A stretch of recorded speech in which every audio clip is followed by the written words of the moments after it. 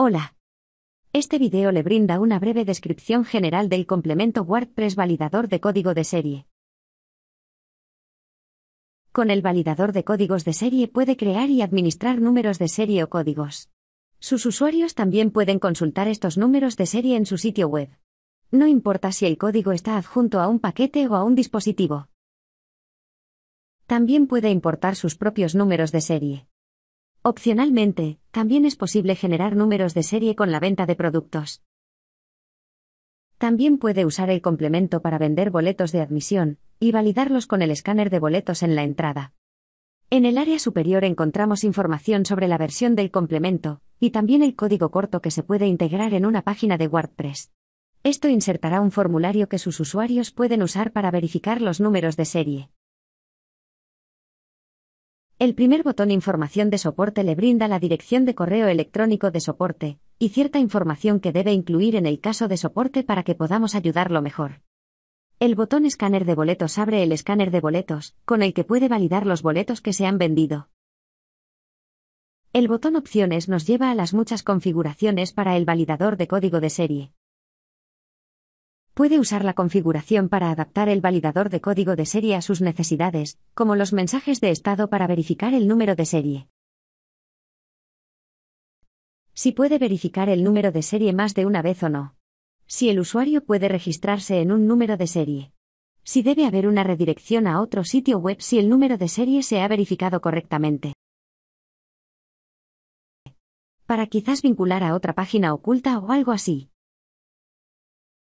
Luego, si desea notificar a otros servidores web cuando se haya realizado una verificación. Si desea habilitar la venta opcional de números de serie. También puede especificar el formato de los números de serie. Y mucho más. También es posible restringir la venta de productos de WooCommerce para que la compra solo sea posible con un número de serie.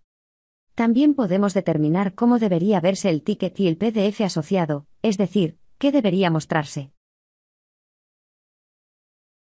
Los marcadores de posición que se pueden utilizar para el reenvío se enumeran a continuación. Estos se reemplazan en tiempo de ejecución. Con el botón atrás volvemos al salpicadero. El área superior le muestra las listas de números de serie. Así es como puede administrar sus números de serie en carpetas. Estas listas de códigos son necesarias si desea generar números de serie a partir de ventas de productos o boletos de venta. También se puede almacenar un formato en la propia lista, que se utiliza cuando se genera un número de serie durante la venta. En la zona inferior tenemos los números de serie y códigos. La lista se puede buscar y filtrar. También es posible exportar los números de serie. Con un clic en el símbolo abrimos la vista detallada del número de serie. Allí podemos encontrar información sobre el usuario y el producto WooCommerce, si lo hubiera. También puede hacer cambios aquí. Cada número de serie tiene una pantalla normal no delimitada y una pantalla delimitada. Para agregar más números de serie usamos la importación de números de serie. Él ofrece un generador opcional con el que puede generar números de serie. El formato se puede establecer arbitrariamente. Para protegerse al ingresar un número de serie, también se puede ingresar un número CVV. Al igual que con las tarjetas de crédito, este número funciona como un cheque adicional. Entonces puede poner el número de serie en el empaque o el dispositivo, y ocultar el número CVV en el empaque. Por supuesto, también puede importar directamente sus números de serie generados. Para hacer esto, ingrese los números de serie en el campo de texto en la segunda sección. Se utiliza una línea para cada número de serie. Los números de serie generados por el generador también se muestran allí, y aún puede ajustarlos. Si lo desea, también puede seleccionar aquí una lista que se asigna a los números de serie. Luego haga clic en el botón Almacenar códigos para almacenar los números de serie en el servidor. Para que sus usuarios puedan verificar los números de serie, aún debe ingresar el código abreviado en una página como texto. Ingrese el número de serie en el formulario y comience la prueba. El sistema informa si el código es válido. También es posible crear números de serie al vender un producto con WooCommerce. Para ello, debe seleccionar una lista en la vista de detalle del producto. Puede encontrar la opción en la sección Códigos de serie y boletos. El sistema genera automáticamente un número de serie y lo adjunta al producto adquirido.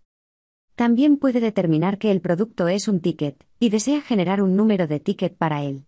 Para hacer esto, debe proporcionar una lista. Los números generados.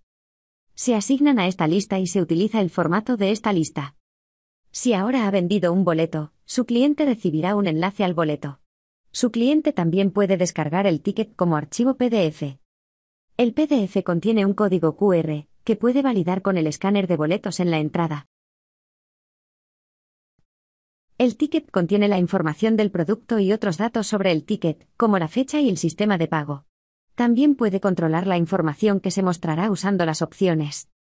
El escáner de boletos se puede usar en su teléfono móvil, a través de una tableta y también a través de una computadora con una cámara web.